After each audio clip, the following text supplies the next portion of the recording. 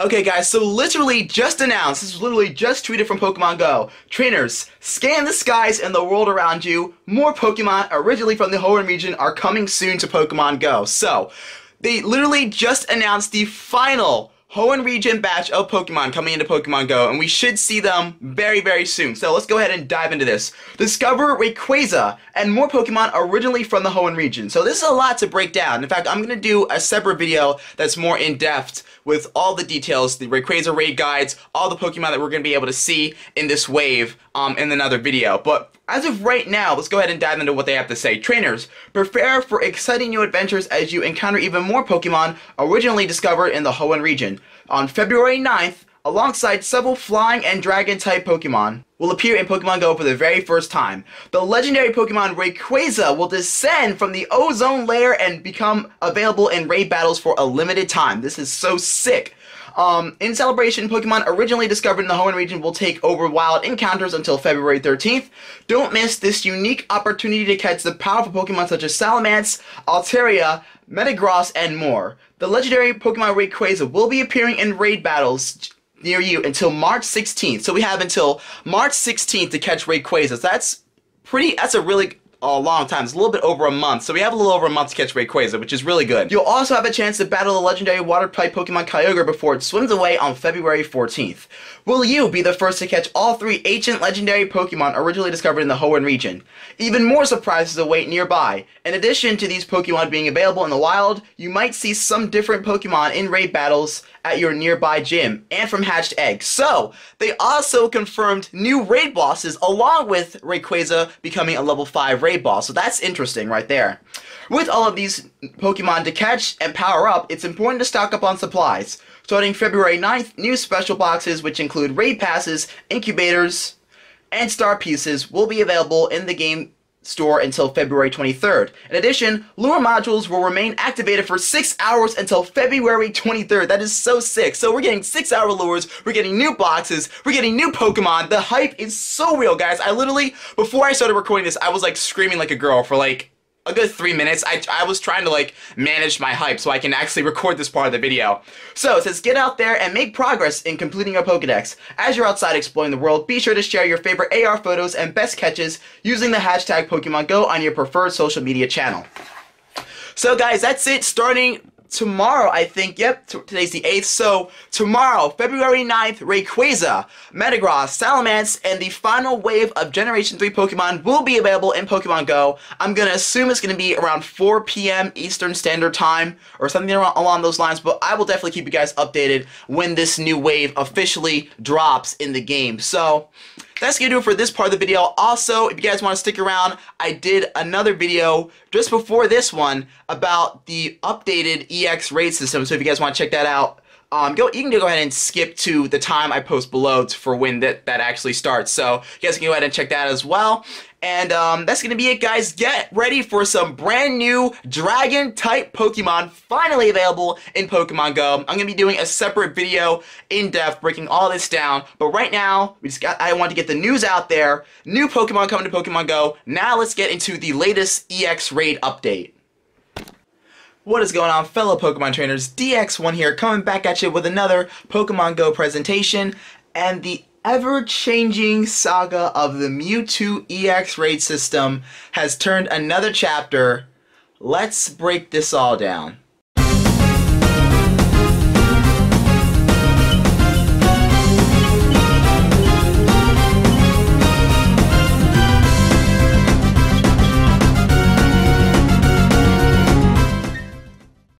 Okay, so let's start all the way back to the beginning of today, and then we'll work our way up to the good stuff. So, today around 6 a.m. Eastern Standard Time, so at the time we're watching this, yesterday at around 6 a.m. Eastern Standard Time, our friends at Pokemon Go Hub dropped the latest article, New EX Raid Triggers based on level 10 S2 cells, not level 12 S2 cells. So, Niantic has changed the EX Raid system again.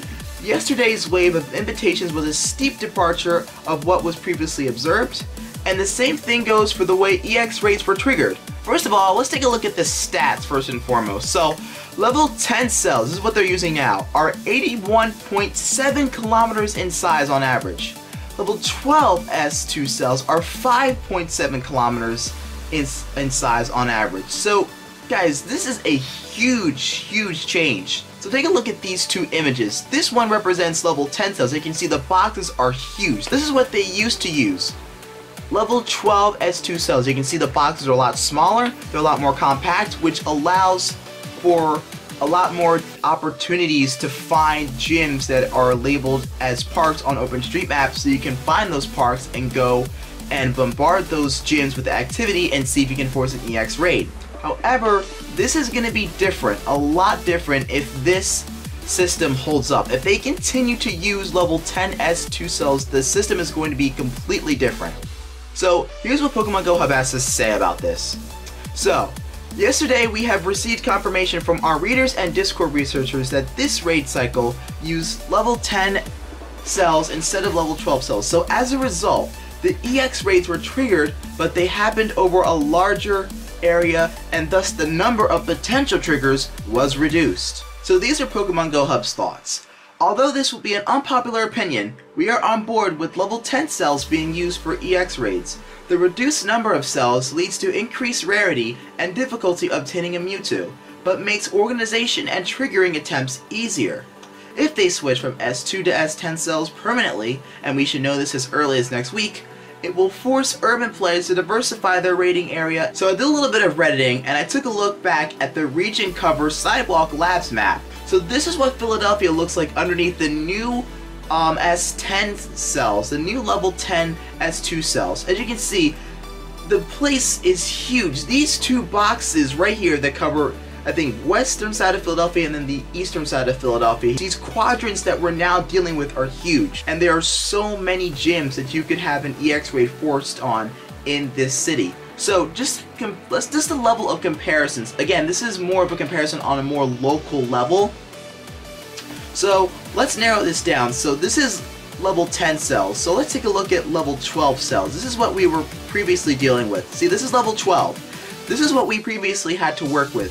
So as you can see, the quadrant's a lot smaller, a lot more compact, and you know, it's easier to pinpoint whether a gym is going to be labeled as a park on OpenStreetMap and is easier to be targeted when you have a much smaller radius to go by. So we went from these smaller quadrants to these much larger quadrants. Let's Take a look at the huge space that we have right here. These are S10. You can just easily see the difference right here. So I thought that was really interesting. So literally the timing couldn't be more perfect on this one. So as I'm recording this episode, Niantic releases a statement Pokemon Go team an update on EX Raid Battle invitations. So, with the latest batch of EX Raid Battle invites, we implemented a few changes to improve trainer and gym selection. Unfortunately, a bug was introduced when these changes were made, and as a result, some trainers were invited to participate in an EX Raid battle at a gym they may. Future invites will better represent how the updated invitation process is intended to function. Most importantly, trainers will also receive an invitation if they've completed a raid battle at that gym recently. So, we've also made a couple of changes that will impact the invitation process. First, we've made changes to the way gyms are selected. While EX raid battles will continue to take place in parks at sponsored locations, the number of gyms that meet the necessary criteria for an EX raid battle will increase. Additionally, the average number of trainers invited per gym will also rise, as we've made a few tweaks to the way that they are selected.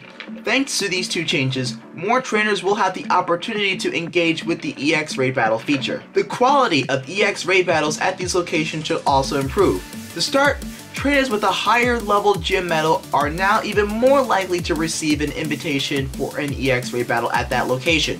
Trainers who complete more raid battles at any location the week before EX raid battle invitations are sent will now have a greater chance of being selected. We appreciate the feedback many of you have shared over the past several weeks and apologize for any frustration the latest batch of invitations may have caused. We are constantly monitoring feedback. We are constantly monitoring feedback shared on various social media and support channels. So please continue to share your thoughts on your preferred channel as we continue to fine tune this feature. So guys, this is a very encouraging letter, and I'm really, really happy that the Pokemon Go team decided to write this up, uh, especially since they wrote it up so quickly. So they realized that they made a mistake on the last batch of EX raids, so this explains why we were getting EX raid passes for so many crazy locations and for gyms that weren't even for raids. They were literally for spinning the stop. Literally for any type of interaction with the gym, people were receiving EX raid passes yesterday. So I'm glad they came out and addressed this so quickly. And I'm glad they're letting us know what they plan on doing in the future. So it's going to be an interesting development over the next few weeks to find out how exactly to get an EX raid pass. But I think we've pretty much figured it out right now. Again, I'm going to go back to the region cover map. So again, the quadrants that involve getting an EX raid has increased. So, as they said, the amount of people that are going to be getting EX raid passes are going is going to increase. So therefore, there's going to be a lot more gyms.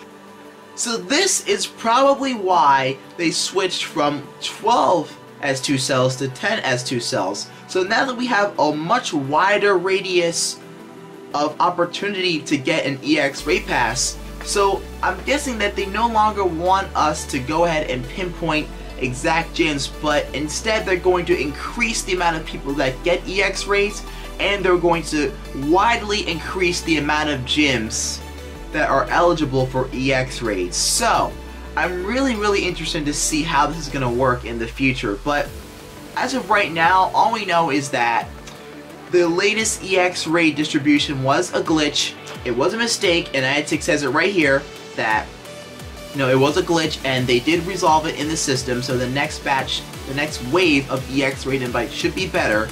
Also, they did say they're going to be increasing the likelihood of trainers receiving EX raid passes. So, a lot of things being promised from the Pokemon Go team, and we'll just see how this all unfolds within the next couple of weeks. And um, I'm really stoked to see what happens here. So yeah, that's going to be about it for this update video, guys. Um, please drop a comment. Let me know what you feel, how you feel about this new statement from Niantic. Do you think they're just talking? Do you think anything that they're saying is really true, or do you just think they're saying this to make us feel good about the EX raid system, to try to keep us satisfied about things as they continue to tweak it. As far as I'm concerned, I'm just really stoked to find out how this is going to play out over the next few weeks because we're going to be seeing how the EX raid distribution has changed or how it is changing. Then we're going to be able to make our judgments from there. So DX1 signing out of this one. Have a wonderful day. I will see you guys in the next one. Peace out.